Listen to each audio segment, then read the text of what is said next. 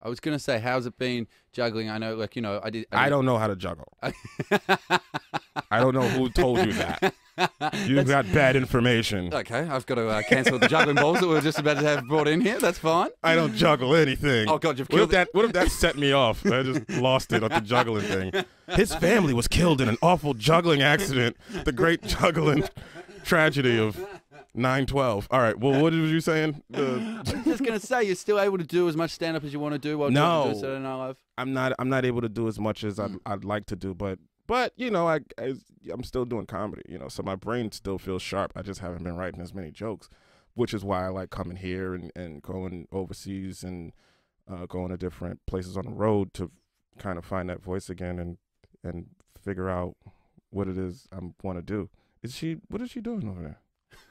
What's hilarious about that Oh. is she, she is a he. Oh, oh, I'm sorry. that- that's her name is Deano, and you, But that's a compliment. I said you're pretty. I was like, well, what was she doing? I'm gonna buy her a drink. You said This is a guy.